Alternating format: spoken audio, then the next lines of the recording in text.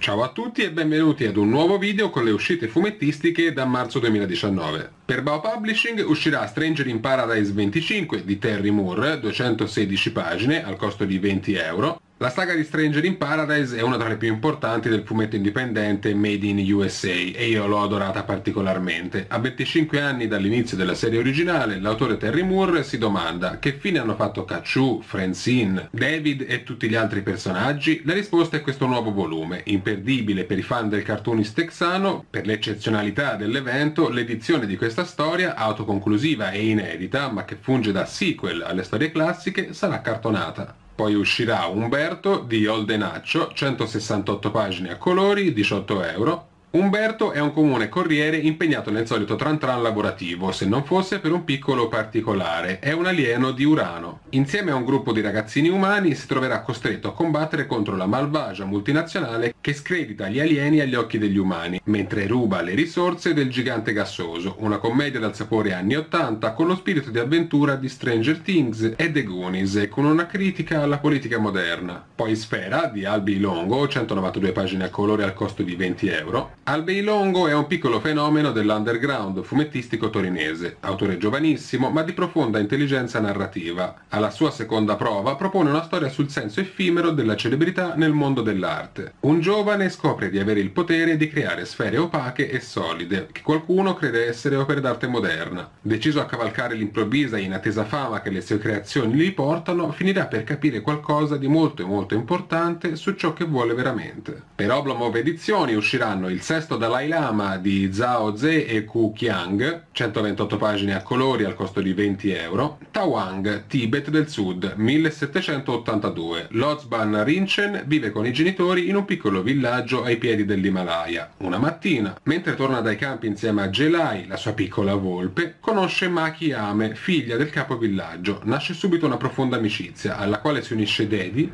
la confidente di Maki Ame. Poco dopo però giunge la notizia della morte del quinto Dalai Lama e i monaci devono partire per setacciare il paese alla ricerca di un successore. Durante la ricerca arriveranno a Tawang, sconvolgendo la quotidianità dei tre giovani amici. In una lunga graphic novel in tre volumi, Zhao Ze racconta l'affascinante vita di Tsunyang Gyatso, l'unico Dalai Lama laico tra l'amore per Maike Ame e il suo destino religioso, mentre sullo sfondo scorrono i conflitti politici e la guerra tra il Tibet e la Mongolia. Poi Acqua Atlantic di Giorgio Carpinteri al costo di 20 euro per 56 pagine a colori. Atlantide esiste, tra i suoi abitanti un comico di successo interpreta il terrestre contemporaneo. La comunità che applaude è espressione di un'umanità originaria pura e felice che convive con i fratelli di superficie, grazie a una condizione, essere considerati un mito, non reali. Cosa succederebbe se il personaggio si impossessasse dell'attore che lo interpreta? Come apparirebbe ai suoi occhi quel paradiso di tartarughe sapienti e persone amorevoli? Calarsi troppo nella parte sarà il principio dei suoi guai e metterà a rischio l'intera comunità. Poi Il Dio Vagabondo di Fabrizio Dori al costo di 25 euro per 160 pagine a colori. Un senza tetto attira a sé folle di fedeli, in cambio di una bottiglia di vino o mezzo grammo di hashish, racconta storie che fanno passare la tristezza e risolvono problemi. Eustis non è però un santone qualunque, è un satiro e possiede realmente il dono della profezia. Nei tempi antichi apparteneva alla corte errante di Dioniso, ma un giorno si perse. Le cose però stanno per cambiare, gli dei forse non sono veramente scomparsi. Per ritrovarli Eustis dovrà però affrontare la sua personale odissea ai confini una moderna metropoli.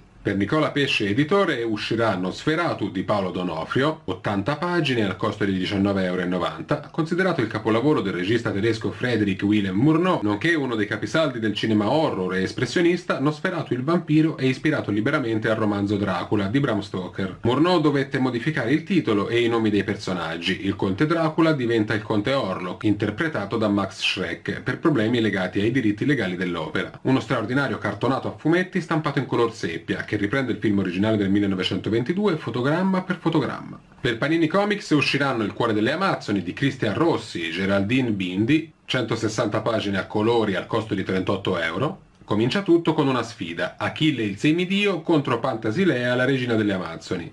Cristian Rossi e Geraldine Bindi narrano sotto una nuova luce i miti delle Amazzoni, donando loro la veste epica di una guerra dei sessi, il tutto racchiuso in un elegante e pregiato volume. Per edizioni BD uscirà Belzebubs di J.B. Aonen, un volume unico di 128 pagine al costo di 12 euro, State per conoscere la più estrema band metal della storia, i Belzebubs, e l'adorabile, ma altrettanto metal, famiglia del suo frontman. Tra nonnine adoratrici di Cthulhu, teneri primi amori conditi da riti di sangue e disavventure quotidiane a ritmi indiavolati, questa web serie proveniente, come il metal più estremo del resto, dalla Finlandia, è già pubblicata in Stati Uniti, Spagna e Francia, è davvero irresistibile. E queste erano le uscite a fumetti da marzo 2019. Fatemi sapere qui sotto con un commento la vostra wishlist, lasciate un like se il video vi è piaciuto, iscrivetevi al canale attivando le notifiche e seguitemi sui vari social come Instagram dove giornalmente posto qualcosa riguardo i fumetti che leggo e non solo. Aprite il box informazioni per tutte le info utili su come aiutare il canale, noi ci vediamo alla prossima e ciao!